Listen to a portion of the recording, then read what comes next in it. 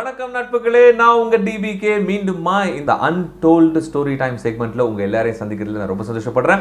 இன்னைக்கு நாம பார்க்க போற அந்த இசை பிரபலம் இசையமைப்பாளர் மரகத மணி அவர்களை பற்றி தான் என்னப்பா கேள்விப்படாத ஒரு பேராக இருக்கே அப்படின்னு இந்த காலத்து இலசுகளும் மரகத மணியா அவர் பெரிய ஆளாச்சே அப்படின்னு சொல்கிற அந்த காலத்து ஆளுங்களும் மிக்ஸ்டாக இந்த கண்டென்ட்டை கேட்குறீங்கன்னா ரெண்டு பேருக்கும் சேர்ந்தாப்புல ஒரு தகவலை சொல்கிறேன் கேளுங்க.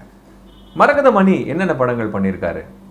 அர்ஜுன் அவங்களோட சேர்ந்து நிறைய காம்பினேஷன் படம் பண்ணியிருக்காருங்க. ஆக்சுவலாக காந்திபுரம் கொண்டாட்டம் பிரதாப் சேவகன் இப்படி நிறைய படங்கள் அர்ஜுனோட சேர்ந்து பணியாற்றிருக்காரு.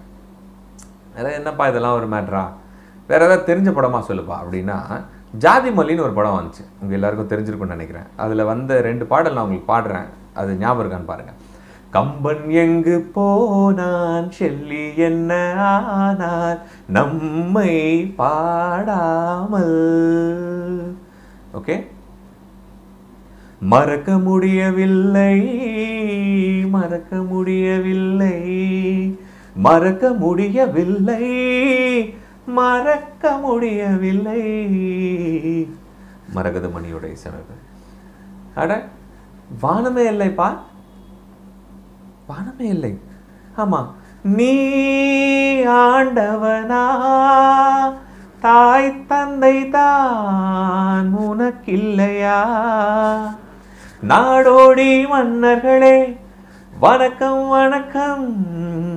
வேறப்பா. கம்பங்காடே கம்பங்காடே ஓகே. வானமே இல்லை அழகினி வானமே இல்லை. ஓகே. வேற? ஜனகன மன என சதி சொல்லும் நேரம். ஓகே. அடுத்த படம் அழகன் அப்படிங்கிற திரைப்படத்துல. சங்கீத ஸ்வரங்கள் ஏழே இருக்கா இன்னும் இருக்கா? ஓகே. ஜாதி மல்லி பூச்சரமே சங்கத்தமிழ் பாச்சரமே. மழையும் நீயே வெயிலும் நீ ஓகே? துடிக்கிறதே நெஞ்சம் தெம்மாங்கு பாடி. துடிக்கிறதே நெஞ்சம் தெம்மாங்கு பாடி. தத்தித்தோ தானன தானன தானன தானன தத்தித்தோ இதெல்லாம் அழகன் படங்க. அடுத்தது நீ பாதி நான் பாதி அப்படிங்கிற படம் கூட நிறைய பேர் கேள்விப்பட்டிருப்பீங்க. ரஹ்மான் நடித்தது கௌதமியோடது.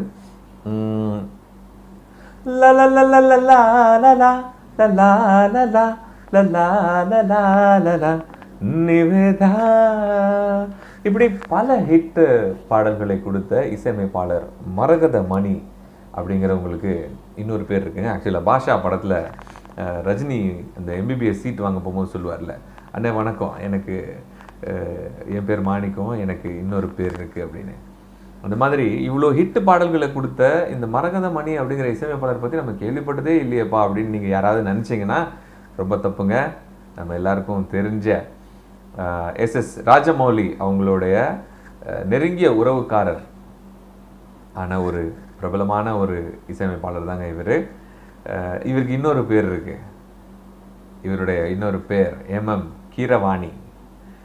அதாவது ராஜமௌலி அவர்கள் இயக்கிய அத்தனை படங்களுக்கும் இவர் தான் ஆஸ்தான மியூசிக் டைரக்டர் என்னப்பா சொல்கிற ஆமாங்க.